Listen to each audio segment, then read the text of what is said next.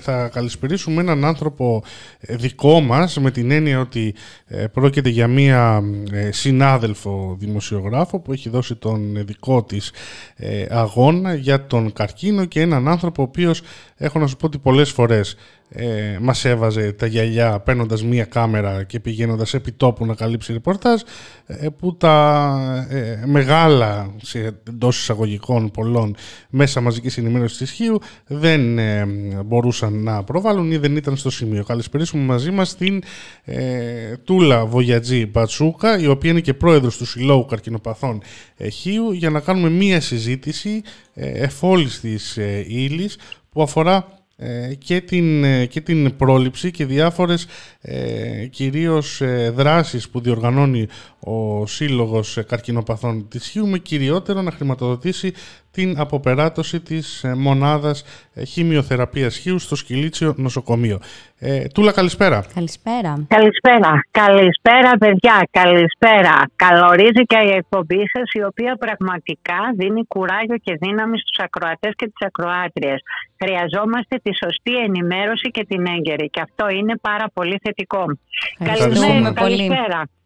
Να είστε καλά. Λοιπόν, λοιπόν τώρα πάμε να, πάμε να τα δούμε γιατί είδαμε, είδαμε σήμερα ε, και μέσα από το πολίτης χίος.gr τις δηλώσεις ε, που κάνατε στο Δημαρχείο της Χίου μαζί με τον ε, Αντιδήμαρχο. Νομίζω ότι κατά βάση να ξεκινήσουμε από το, από το πιο σημαντικό από όλα το οποίο ακούστηκε είναι αυτή η προσπάθεια που καταβάλει ο Σύλλογος Καρκινοπαθών για να χρηματοδοτήσει την αποπεράτωση της μονάδας χημειοθεραπείας στο νοσοκομείο της Χίου. Να εστιάσουμε πάνω σε αυτό, σε τι στάδιο βρισκόμαστε και ποιος είναι ο στόχος ε, του, του Συλλόγου.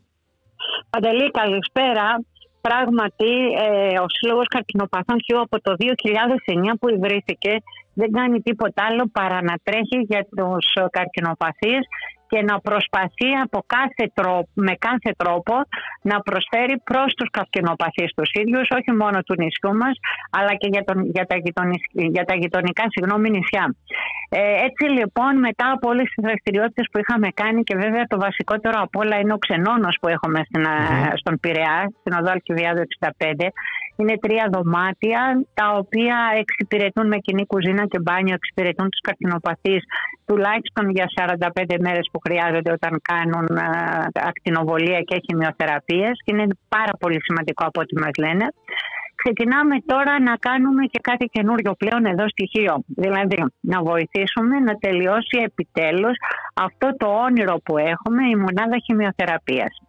Βέβαια, όνειρο βασικό μας είναι να έχουμε έναν ογκολόγο στο δημόσιο νοσοκομείο και όχι ιδιωτικούς ογκολόγους, οι οποίοι κατά καιρούς έρχονται στην Χίο, εξετάζουν το κοινό, φεύγουν κτλ. Και, και ευχαριστούμε πολύ γιατί και αυτοί οι άνθρωποι κάνουν αυτόν τον αγώνα, ώστε να μην πηγαίνουν οι καρκινοπαθείς στην Αθήνα, έτσι, για να μην τα ισοπεδώνουμε όλα. Σωστό. Οι ιδιώτες αυτοί έρχονται στην Κίο, καλός ή κακός, προσφέρουν τις υπηρεσίες τους και οι καρκινοπαθείς δεν ταλαιπωρούνται με αεροπλάνο ή καράβι, εκτός ορισμένων περιπτώσεων που θεωρούνται κρίσιμοι, ε, να πηγαίνουν στην Αθήνα. Εξυπηρετούνται λοιπόν εδώ.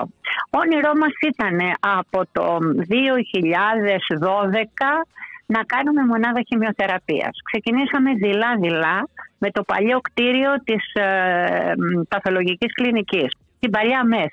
Εκεί λοιπόν κάναμε μια αίθουσα χημειοθεραπείας όπου βεβαίως δεν είχαμε ογκολόγο, αλλά αφού ο γιατρός, ο ογκολόγος του κάθε ασθενούς έδινε το σχήμα της ε, θεραπείας, γινόταν στην αίθουσα τη συγκεκριμένη με τους ήδη παθολόγους γιατρούς, οπότε μπορούσαμε και κάναμε την δουλειά μας σαν καρκινοπαθείς.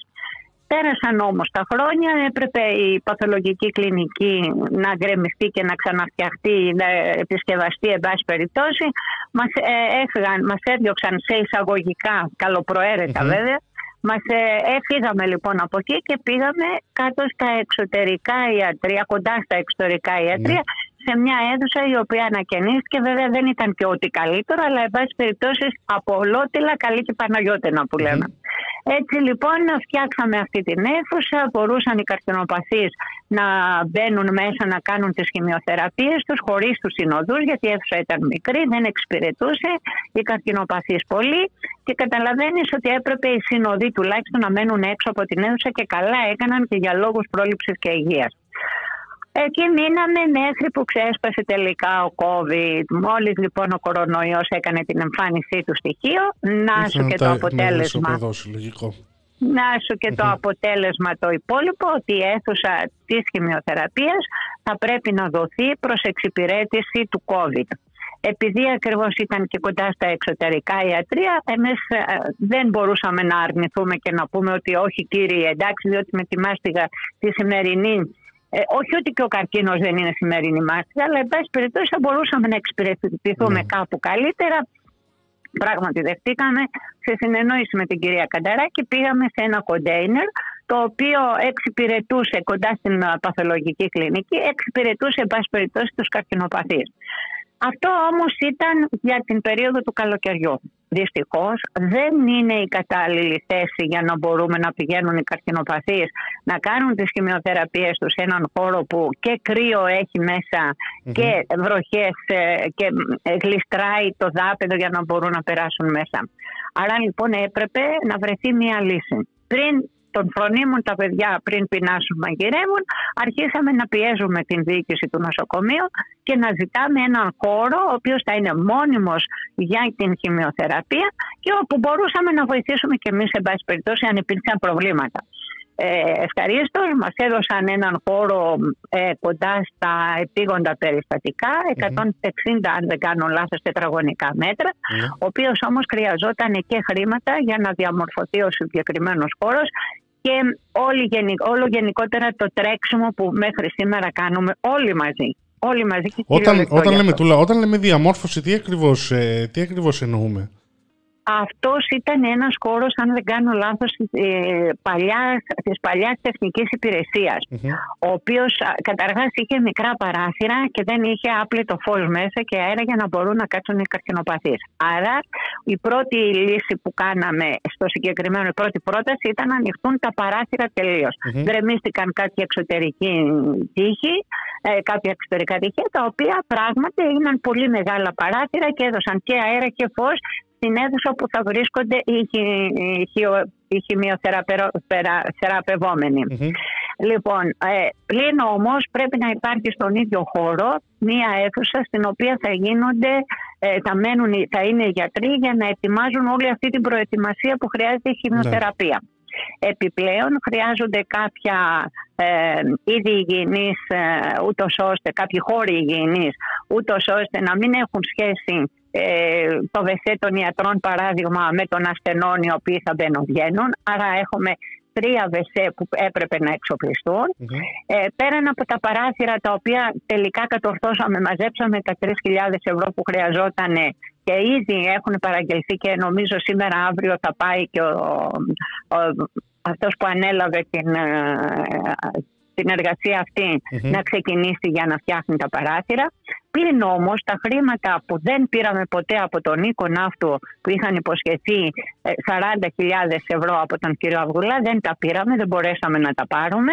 Ε, αυτά έφεραν πίσω την όλη εργασία. Αυτά τα χρήματα, γιατί το, το θυμόμαστε τώρα ότι είχε υποσχεθεί ότι θα το χρηματοδοτήσει, αλλά και πολλά άλλα επίσης δεν έγιναν στον Νίκο Ναύτο, δεν είναι τι παρούσει που έπρεπε να γίνουν. Ναι. Δεν τα πήρατε με την αιτιολογία ότι άλλαξε η διοίκηση, με την αιτιολογία ότι. Δεν, επειδή άλλαξε η διοίκηση. Έτσι ακριβώ. Άλλαξε η διοίκηση τότε και η νέα διοίκηση ε, δεν θεώρησε ότι μπορούσε να πιστώσει τα χρήματα αυτά στο νοσοκομείο Χίου, γιατί ουσιαστικά θα, θα πιστονόταν τα χρήματα αυτά στον, στο νοσοκομείο της Χίου. Τώρα, επί του πρακτέου, ε, γιατί δεν ε, έχουμε ε, λίγο χρόνο, επί του πρακτέου, πού βρισκόμαστε και ποιος είναι ο στόχος, τι, τι στόχο χρηματικό πρέπει να πιάσουμε; Ναι, λοιπόν, κοίταξε να δεις. Αυτή τη στιγμή το νοσοκομείο βάζει γύρω στις 30.000 ευρώ περίπου. Δεν μπορεί να βάλει περισσότερα αυτή τη στιγμή.